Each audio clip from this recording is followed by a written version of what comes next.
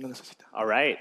Well, uh, good afternoon, everyone. Um, that panel uh, did an awesome job of setting the stage for this one uh, with the history of, of different security and, and wallet solutions, and then talking a little bit about what the usability looks like today and what those main uh, security and usability challenges are uh, today. So we have the opportunity to talk with some uh, people who represent a number of the leading wallets in the space about what the wallets of tomorrow look like and the things they're doing to simplify uh, and improve both the security and the user experience. So let's get started here, and I'll ask each of our panelists to introduce themselves.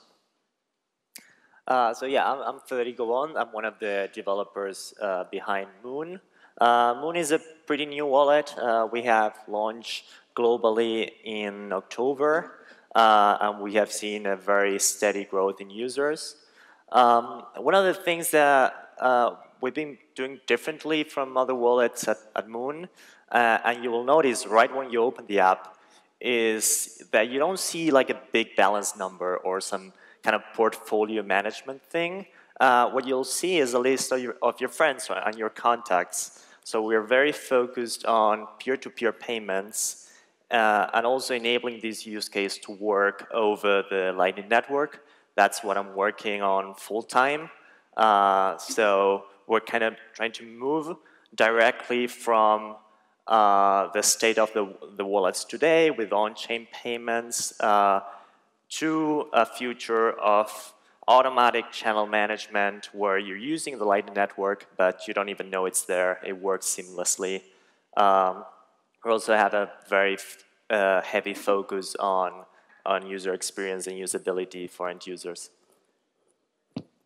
Hello, everyone. My name is Paul Puey. I'm CEO and co-founder of Edge, uh, formerly Airbitz. We built a mobile wallet for originally for Bitcoin, and now we've expanded with Edge into multiple assets: Ethereum, Monero, Ripple, Stellar, ERC20 tokens, and it's a mobile wallet that also lets you buy, sell, trade crypto inside of the app. Our biggest differentiator between many of the other options is exactly what they were describing in the uh, previous panel, which is key management. So we take a single key and make that key automatically encrypted and backed up on your device and into the cloud, so you never have to see or write down um, a private seed, 24 words. You know, that happens automatically for you. Um, and we believe in the future, though, with what they had mentioned with multi-sig, can still leverage this type of single key management. Um, so I invite you guys to try it. We have a booth here as well. Talk to our staff and see if you have any questions if you haven't already tried Edge. Hi everyone, my name is Bach Nguyen and I started off as a marketing manager at Satoshi Labs, the makers of Trezor, and I'm working with the business development team working on technical uh, integration with various uh, Bitcoin and cryptocurrency services. Uh, you might know the Trezor uh, as the first cryptocurrency hardware wallet. Uh, we're actually celebrating uh, five years of the company and seven years of the um, wallet concept this year. And well, when it comes to usability or the future of security, um, we are focusing mainly on user experience right now because security is very important, but it's not very worth much if you can't use it well, if a normal person can't use it well. And I want to jump in on that user experience point let's talk a little bit about what would the, the user experience of the future look like? If we're if we're talking a couple years out if we're talking abstracting away a lot of the complexity that that early cryptocurrency adopters are are used to today what do you think that looks like? Yeah i, I think definitely it's a move like away from just directly modeling the the bitcoin protocol. Uh, so um, probably a lot of a lot of the things that, that we see today are a result of thinking from the technology uh, to the use cases when what we should be doing is working backwards from the use case back to what kind of technologies can support those use cases, uh, making sure that crypto works for uh, the average user that, that doesn't want to learn or spend years learning how to properly do key management. Of course, uh, uh, it requires a relearning of, of a lot of things, uh, but we want to make that transition very, very easy for, for end users. And, and if you think about the, the analogy with browsers, we are at the point where maybe to uh, to use a web page, you would have to type like the IP address or or do a manual DNS lookup, copy the result, put it into a browser, download assets manually, compiling the web page just to see something. Uh, and to get from there to something that, that, that, works everywhere like a modern web browser, uh, it requires creative thinking around uh, some of the crypto uh, limitations or self-imposed limitations. So it's interesting we use this word wallets. And in the world of crypto, really only two things are ever required is wallets and mining. But wallets really are every different way to interface with a blockchain. So what I think the future of user experience is going to look like is that you're going to have wallets which are really very targeted applications for a specific use case. So just like Muun is trying to build a wallet that is very specific to kind of peer-to-peer -peer you, your friend payment, kind of like the Venmo of wallets. Today we still see a lot of wallets also that are very portfolio oriented. Soon you'll see wallets that are going to be very e-commerce oriented. Um, all of the dApps that are getting built today are a layer on top of our decentralized money, and they are the financial services layer, but all of them are effectively, in and of themselves, a piece of a wallet. It's just a different way to talk to a blockchain. Basic wallets send and receive. More complicated ones do loans and insurance. So I think you're going to see is very, very targeted use case for all of these wallets because all of them interface with a blockchain. They all have to talk with private keys, but we're going to have a huge variety of how we want to interface with them, both at a personal level and also at a purpose level. And so that variety is what I think we're going to see going forward, and the user experience being very driven to each of those use cases. Um, well, we at Satoshi Labs, we've been focusing on the user interface in general of the Trezor wallet. Um, not talking about the hardware right now, because there's very much of a limitation what you can do with a small screen. I'm talking about the web wallet interface. Um, if some of you remember, the first web wallet interface was very Spartan. There was not much to see there. Um, and we have taken a lot of effort into making it graphically more appealing. Um, the next step we're doing is uh, we are removing all the elements that might create user confusion. We don't want a user that comes to the wallet, wants to see their balance, wants to send a transaction, to have to second guess um, uh, their decision. Also, uh, we are trying to move more uh, features into that wallet.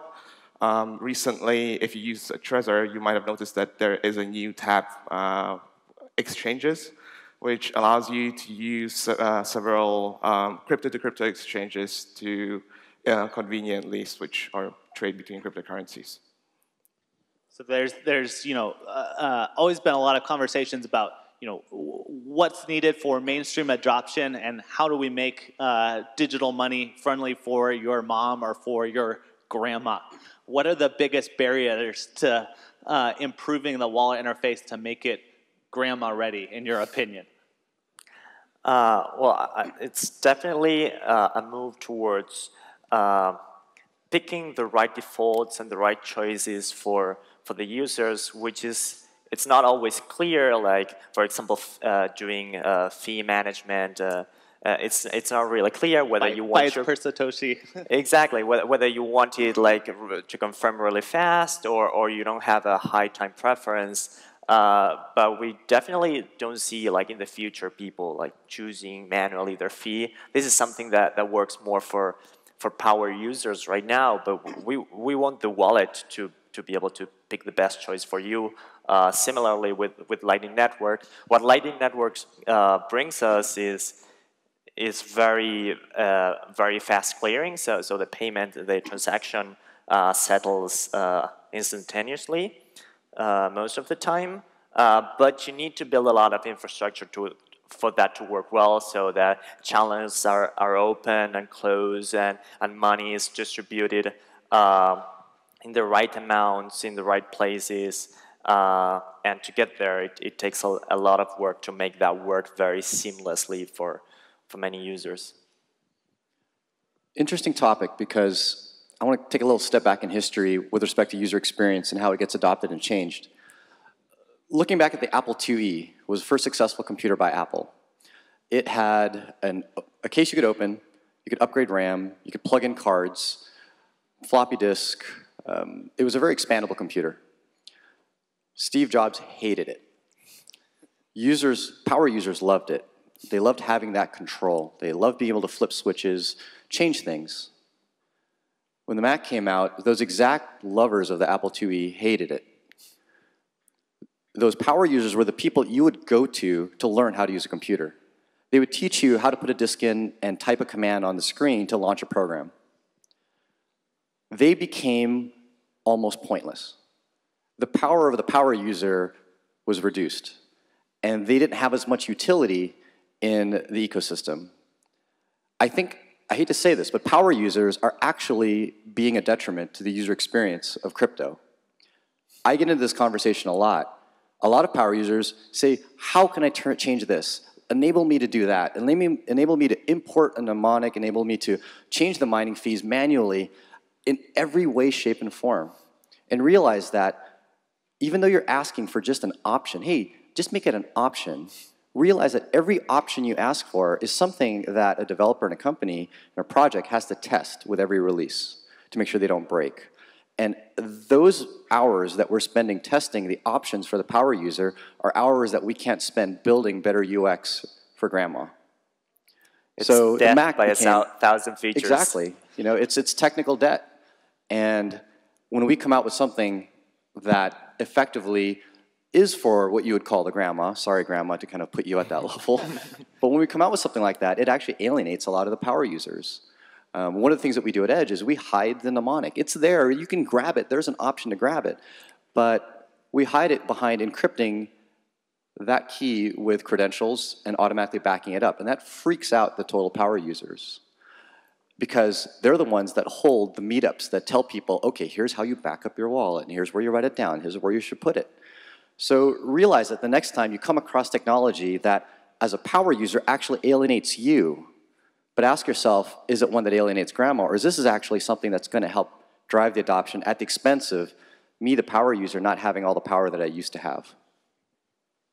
I have to actually agree with this because uh, we have a lot of power users that ask for advanced features from us, like coin selection and other things. Um, we, we, have, yeah. We've decided not to implement it because exactly we are trying to make the user interface um, ready and um, friendly for a grandma, right?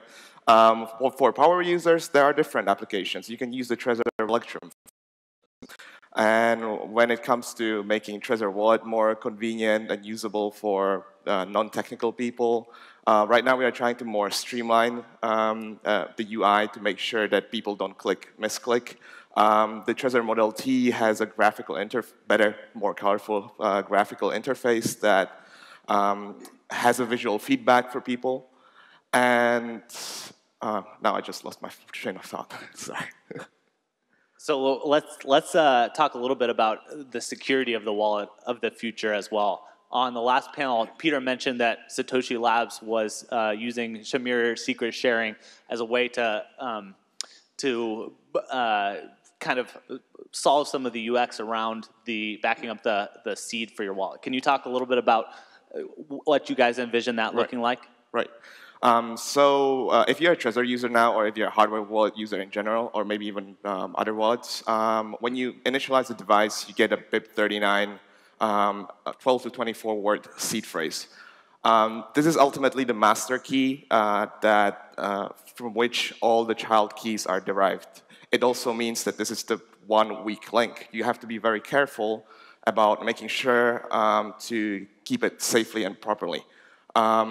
generally, when people try to divide it, they only split it in half and put one half somewhere and the other half somewhere else, and they don't realize that they will need both of those, these parts. Uh, it's two out of two, essentially. Um, so uh, one, one gets lost, you lose the entire uh, master key. Um, we are working on uh, a improvement on top of the BIP39 uh, seed uh, backup, and that is based on the Shamir secret sharing uh, where you can make a two out of three, uh, meaning uh, you can divide your seed into three parts, and then cryptographically you only need two parts uh, to reconstruct the entire ma master key. Uh, this eliminates the, um, or makes it less serious, uh, the single weak link of the backup process. That is a definite huge improvement because that's one of the biggest issues. I've heard the story that Alen had mentioned here on stage earlier about someone putting their seed in bad places. A good friend of mine had lost, you know, nearly all of his crypto from putting his seed as a backup in a bad location. But going forward, I think that's an incrementally great, you know, good improvement. But we need to just get the hell rid of those seeds. I can't stand them. And if you think about humankind and how we evolve, having a physical backup of something, of money, is something that, generally speaking, the trend is an older generation is very accustomed to. You had a safe, maybe you're a gold bug.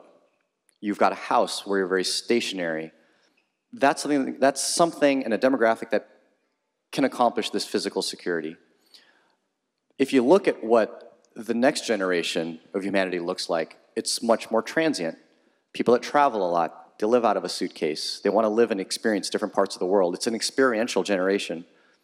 Telling them that they need to take two of three pieces of paper of seeds, put them somewhere in different places that they'll have to recover in case they lose a keychain is still a pretty challenging thing for kind of the next model, the next generation of, of humankind. So I predict that the future of crypto and the future of security will not require us to deal with a lot of physicality. It will be a model of multi-sig, such as what Casa is building, and custodians that aren't full custodians. I can't stand full custodians, but partial custodians. This is effectively what the, the legacy financial system is going to turn into. Instead of them holding and controlling our money 100%, they become nothing more than a cosigner. And leveraging multisig with cosigners that are both either institutional or family and friends, that I feel like is a definite future of, of crypto and security. And more than that, a way that we can really drive some adoption and make security nearly invisible. That's been our goal is don't try to make the absolute best security against an attacker, but one that the user screws up. Build security where it's invisible, much like HTTPS. You get encrypted security on the, on the web and you don't even know it. That I think is what we should be striving for, where you don't even know you're getting it. Yeah, I mean, we're, we're very much aligned with, with that vision. Uh, at Muun, because we are, we are two out of two uh, cosigner wallet, uh, we make two promises. One is that Muun will not ever be able to uh, use your fund or spend your funds uh, because we don't hold uh, one of your keys, and also that we won't be able to freeze your funds uh, should we ever uh, become uncooperative. You always have full control over, over your keys. And we've also been working on easy recovery options for, for people. So whether you forget your password or you forget something else, there's always a way uh, using two factors. So if you forget your password, password, you can use a recovery code plus uh, an email validation to get back your, your funds. Or uh, if you forget your, your code, but you have your, pass, your password, you can still access your phone. So, so there's always a way of, of getting back your funds. Uh, and we are looking for other ways in, in which we can improve this may, if I may react just to that, I, I think uh, at least for those people who want full uh, who don't want custodianship, who want to take care of their own private keys, um, I think uh, the seed phrase, or in some form, either Shamir secret or in the, the, current form, is here to stay. Of course, we understand that um, there are better ways how to do it, and that's why we are working on uh, multi-sig too, uh, uh, making it easier, or but yeah, making it easier in the Trezor wallet interface to use multi-sig let's talk a little bit about interoperability of, of wallets of the future. You know, today um, interoperability is is pretty limited. As Federico mentioned, we're kind of at the at the IP address stage where uh, wallets are interacting directly through public keys, and there's some standardization around uh, mnemonic and uh, XPub keys. Uh, what do you guys think are the, the next places where we get more standardization and interoperability between different wallets? Yeah, um, we're, definitely seeing like this uh, gradient from like very, very cold wallets to uh, warm wallets and uh, making it really easy to move your funds from, from one step, step in the gradient to another uh, is, is going to be uh, one of the most important things in the future. And so we're, we're, we're, very, very excited about this, the thing we, we've been working on for the past few months, uh, very closely with, with Trezor. And this is something that, that we will announce today. Um, so as of today, you will be able to pair your Trezor wallet with Muun uh, with a very easy process. Uh, it works just like WhatsApp Web with your computer. So you don't need any kind of special cable.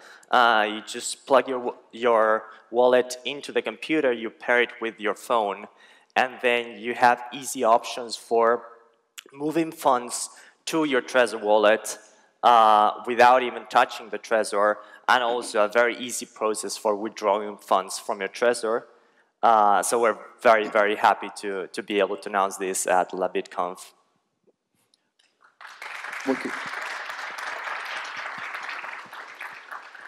So Tyler, you mentioned, I think, the, the thing about the mnemonics and, and public keys. And I think from the viewpoint of inner wallet operability, the only thing that kind of connects users together at kind of the user level is that public address. And that's been the kind of bane of a lot of people's existence. It's like, oh, goddamn, this, this public address. So um, many projects have attempted to resolve this and trying to introduce names into the ecosystem, saying being able to pay to a name, pay to a handle. And while the technology is there, we can register names on a blockchain. I think the biggest challenge has been how do you how do you actually get adoption of that standard? Like Namecoin tried, right. um, there's the Ether DNS type uh, style. Um, and all of them being very blockchain specific have had trouble with adoption. I'm actually really excited about a new protocol that just got announced this, this month, I believe, with FIO. Mm -hmm. So if you haven't already checked out, check out the FIO protocol. One of the biggest reasons why they have a good chance for success is they went straight to the industry first and tried to get adoption from some of the biggest wallet players in the world.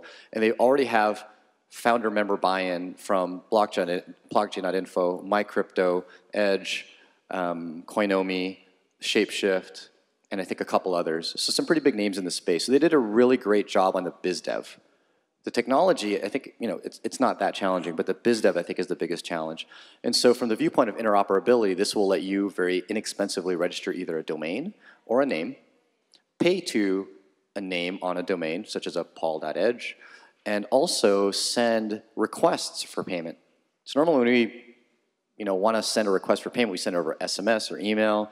You hope the address doesn't get changed. Well, now you'll be able to use this kind of specialized channel blockchain to send a request. As well, you'll, as well, you'd be able to put metadata on a payment. So when I send a payment to somebody, I can put what it's for onto this blockchain. It gets received on the other end, and it's encrypted end to end.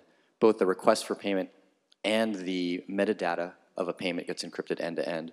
And so I'm pretty excited about the protocol. I'm excited about the, the people that are working on it. There's very established VCs and previous entrepreneurs that are working on this. And the fact that they already have buy-in from a lot of major names means that when it goes live, you'll already have you know, six of some of the most popular wallets already implementing it, available for you to actually create a name and spend to a name.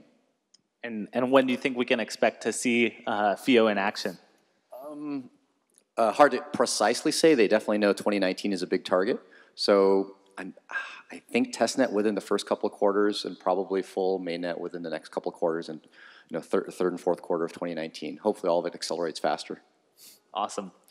Well, as we're um, running out of time here, I want to uh, move in and talk about a, a, subject that doesn't get a lot of attention usually, and that's really around the business models of, of wallets. You know, we kind of all take for granted today that wallets should be open source and they should be free to use and they're, uh, you know, just a piece of software. But what do you guys think the business model for a, a successful wallet of, of the future looks like? Well, um, currently the business model of Trezor is quite evident. We have hardware, so we sell hardware. Um, but there's a limitation to that too, because uh, at one point the market is going to be saturated. Um, a Trezor or a hardware wallet is not a cell phone, so it's not going to become outdated in two years. You don't need to buy another one. Um, they last actually pretty long. Um, so uh, the sales might um, decrease eventually.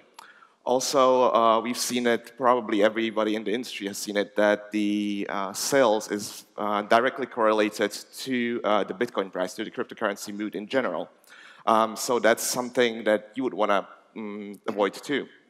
Um, so uh, we are thinking about a few new models. Uh, one of them is a premium support for um, corporations, for large-scale enterprise players that needs an immediate response for uh, support help whenever they need it. Um, they might be, it's like, it's similar to the Red Hat model uh, that they use. Uh, another one is bundling new um, premium features into new features that are going to be supported in the Trezor wallet and more advanced ones. So a lot of people do feel like, oh, the entire ecosystem, within the entire ecosystem, value is being captured pretty much at the exchange level. Right, those are some of the biggest companies in the world in crypto, and because a lot of people want to exchange, and there's a transaction fee you can apply on every exchange. So those are the biggest names. I, I feel that once we start transitioning into a utility world and people are actually using crypto, the value capture starts to really transition into the wallets. Because we'll still need exchange services, but one of the benefits of the business model of a wallet is by being pure software, we don't deal with a lot of the regulatory and compliance and the regional challenges of exchanges, but we can integrate with them. We're effectively the browser for crypto to access various services. And so as that type of a model, we can actually scale globally much easier than a financial service can scale globally. So I imagine a world where you'll have some of the five, six biggest wallets in the world. Those will be the brand names that you know they'll interface with the exchanges for those services, and those could be almost white labeled or, or not, but effectively they'll be the ones that choose which of these services you access because you'll need the wallet anyway for your utility. That's what you're seeing, that's what you interface with every day. But when you need to do that occasional change or swap, or even if you want to trade, that's going to be interface that's built into your, into your wallet for either trading um, or for just acquiring and shifting whenever you need to. So that is a business model because we can, all, we can obviously rev share that with the exchanges and we effectively get to decide you know, what regions we support and support much more than any one exchange could. So uh, at Muun, we're, we're betting really big on Lightning Network. Uh, so once this, this infrastructure is built, uh, what would happen is uh, your wallet would connect uh, by default to one of our nodes, and Muun would be able to make money out of uh, Lightning Network fees. Uh, one of the cool things that, that we're doing with this model is that uh, in order to ensure a very good user experience for, for end users, you cannot have this like Russian roulette where either you pay an on-chain fee for your coffee and you're paying like 25, 30 cents, or you're paying a lightning fee of, let's say, one cent or less than one cent. Uh, so uh, in order to do that, we, we subsidize the fees for all on-chain transactions. So that aligns incentives really well between uh, our, ours as, as wallet developers and our users.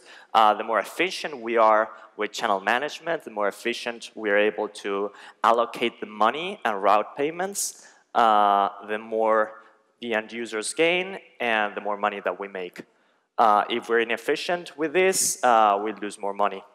Uh, but uh, we're also definitely exploring other options like being resellers for hardware wallets. So once you reach a certain amount, uh, we offer you to uh, upgrade to some, move some of your funds to a hardware wallet, and that goes along to uh, a vision of you know holding hands with the user and walking them through the whole process and making uh, them learn and, and learn uh, very good security practices.